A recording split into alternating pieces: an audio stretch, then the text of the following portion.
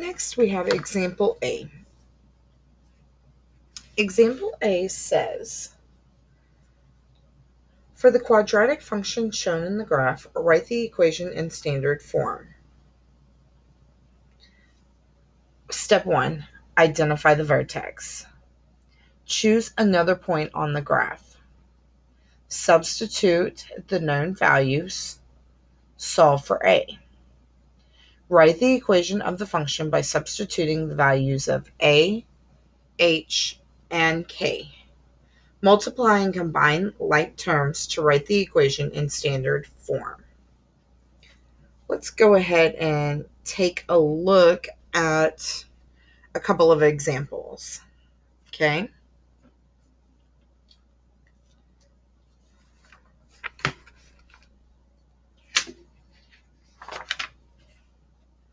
I'm going to write these on another piece of paper just so I have room. So again, these are try these A. Question A. Step one says identify your vertex. In this case, my vertex is negative 2, negative 2.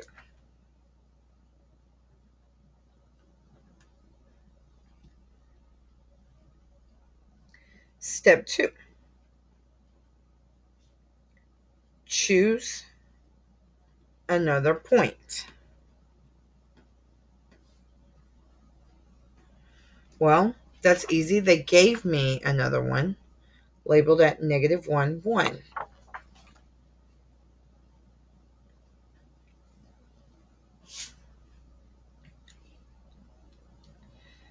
Step 3.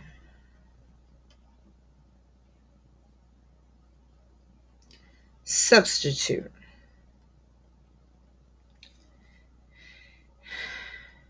These are HK. This is XY. The equation is y equals a x minus h to the second power plus k. So we're going to substitute what we know in. We've got 1 equals a.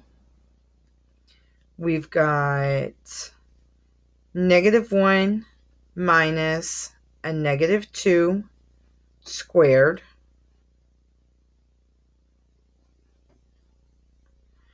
plus a negative 2. Step 4.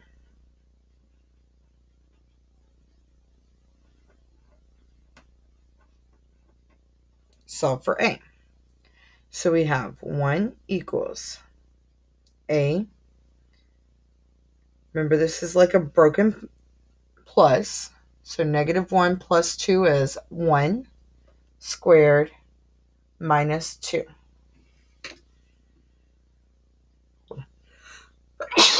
Sorry.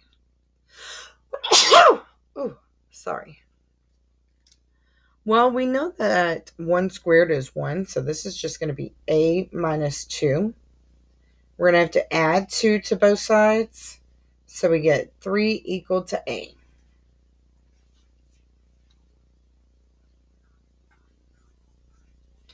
Step 5.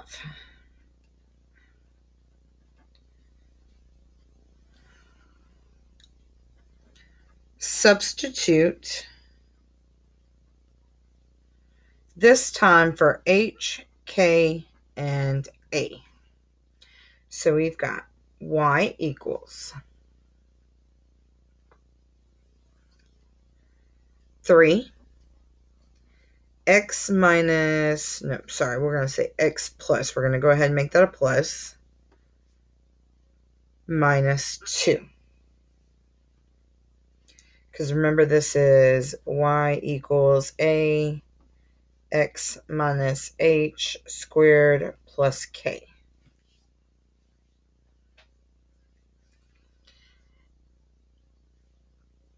Step 6 says to multiply and combine like terms.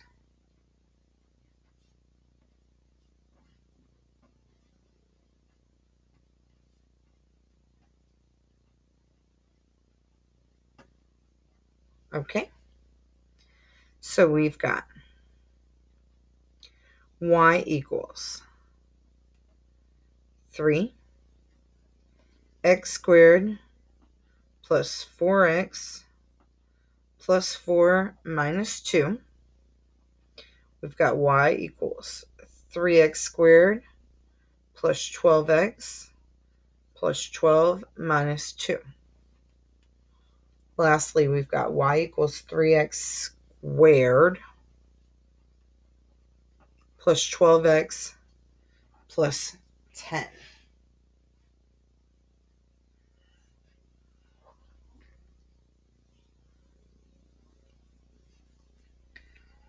All right, my final answer here would have been this line right here. y equals 3x squared plus 12x plus 10. Oops, sorry. Let's go ahead and take a look at B.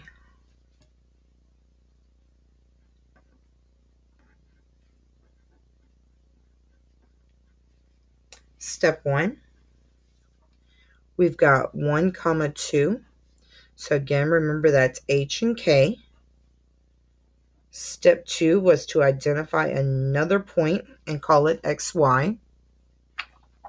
Uh, looks like there's another point located right there at 4, 4.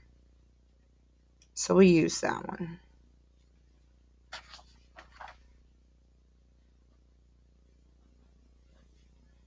So that's XY.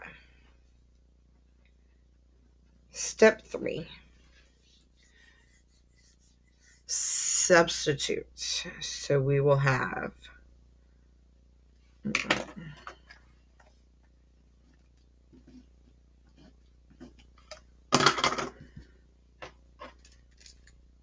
we're going to have 4 equals A parentheses x minus 1 squared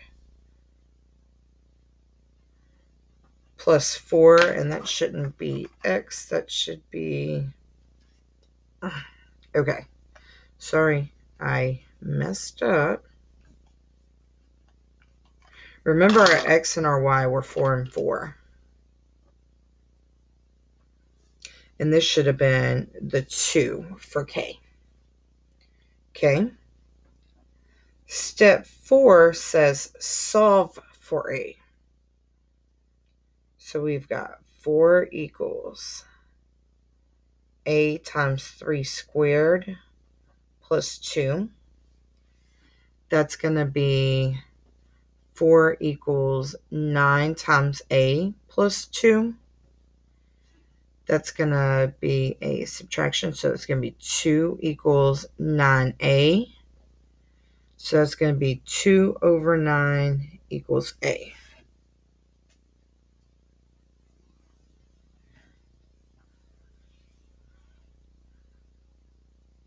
Oh, no. Yeah.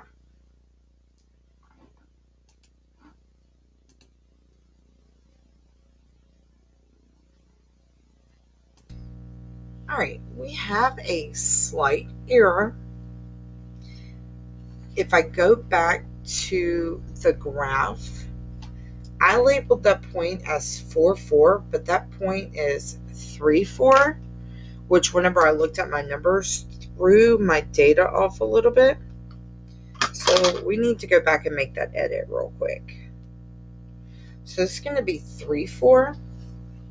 So whenever I change that and make that change, over here, that's going to make this 3, 4.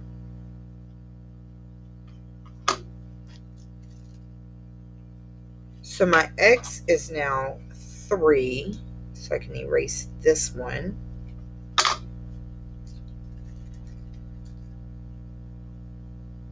Which makes this in parentheses 2.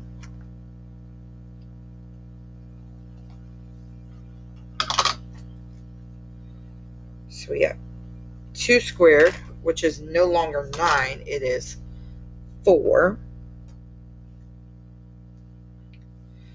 When we subtract 2, we get 4, uh, sorry, 2 equals 4a. And 2 divided by 4 is 1 half.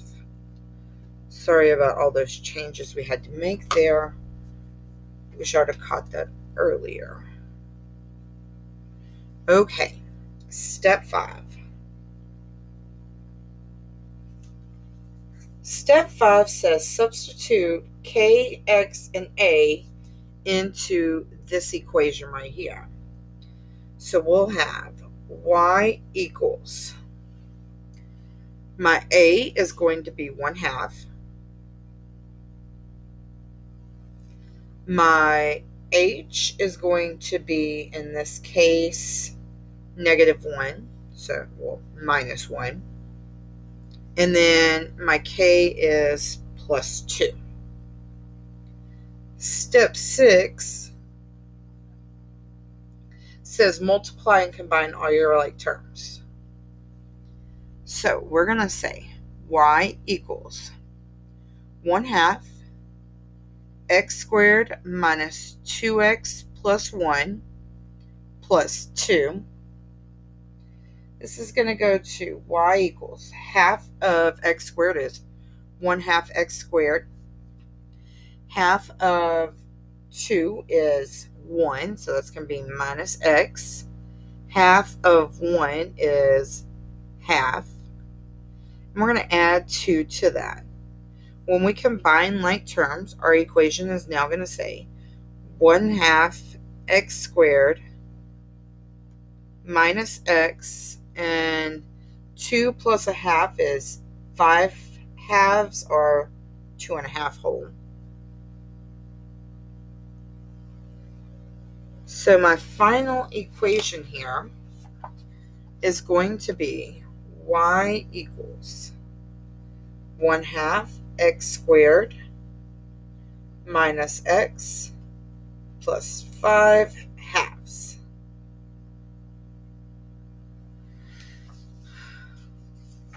I want you to take a moment to get this copied over. On the next slide, you're going to see a little um, drag and drop to put the steps in the correct order.